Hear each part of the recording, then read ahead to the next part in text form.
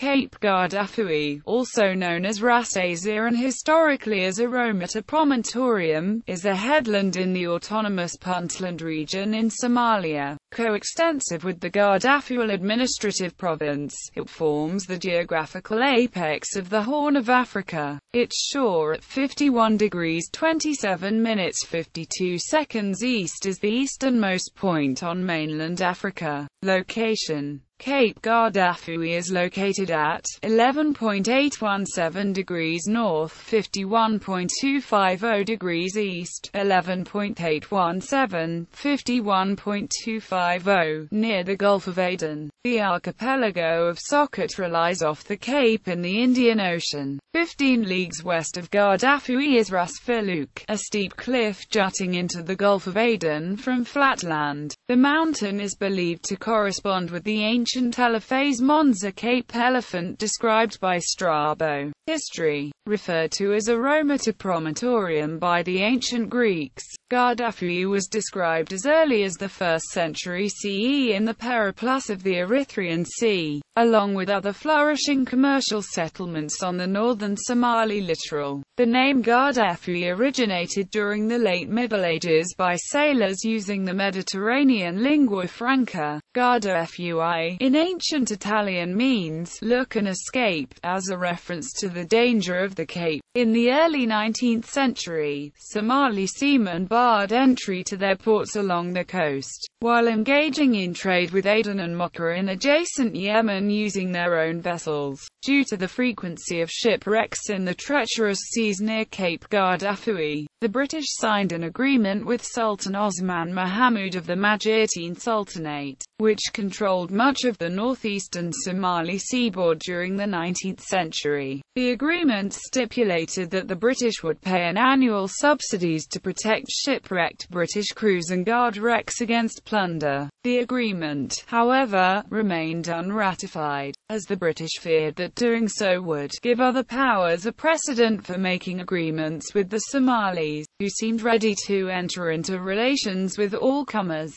Sultan Yusuf Ali Kenadid of the Sultanate of Hobyo, which also controlled a portion of the coast, later granted concessions to an Aden-based French hotel proprietor and a former French army officer to construct a lighthouse in Cape Guardafui. Capital for the project was raised by a firm in Marseille, but the deal subsequently fell through. Lighthouse, Francesco Crispi, Britain ceded to Italy sovereignty over the disputed region where is located Cape Guardafui in 1894.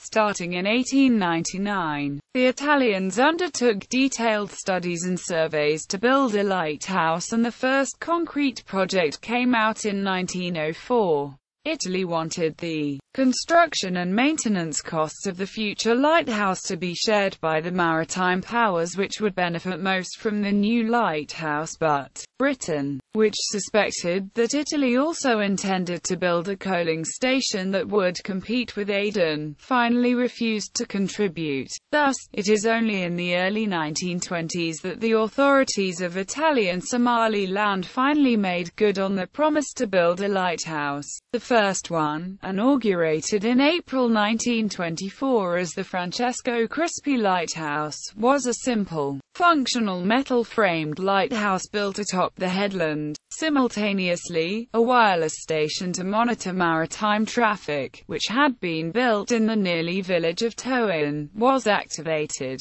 A large-scale rebellion against Italian rule in that part of Italian Somaliland was underway at the time and troops guarding the new lighthouse and the wireless station repelled two attacks by several hundred rebels in November 1925 and January 1926.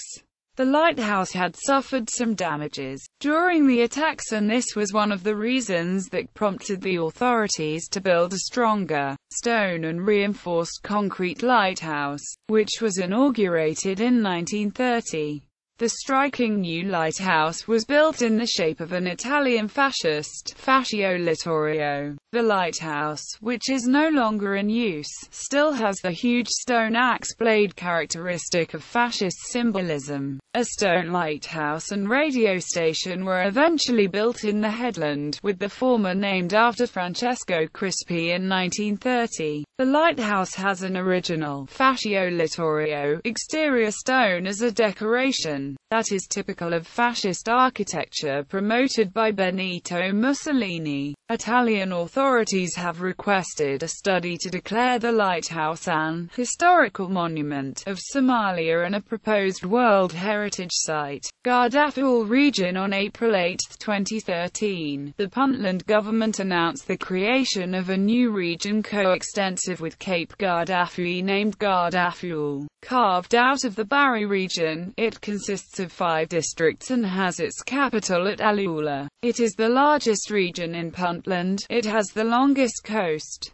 The main resources of the region are 1. Frankincense produces more than 1.5 million kilograms of various types, Maydi, Beeyo, Phalax Phalax and sweet gum. 2. Fish production is high, more than 50,000 tons of fish every month. 3.